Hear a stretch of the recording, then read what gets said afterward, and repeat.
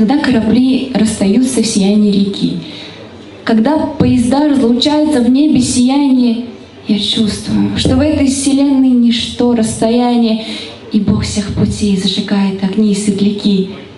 Он словно фонарщик, уверенный, сильной рукой закрутит фитиль и желание, и чаяние странный, и масло, и масло надежды нальет на огонь первозданный, костру наклонившись, решетки коснется щекой. Он там, этот Бог, на окраине наших сердец, дремучих пещерах ума и природных инстинктах, и в час, когда жажда свершений на ветер настигнет, в слабом творении великий проснется Творец. Не гаснет фитиль, ведь теперь бесконечен наш путь, и звезды, как свечи, горят на его перекрестках. Ты любишь дорогу?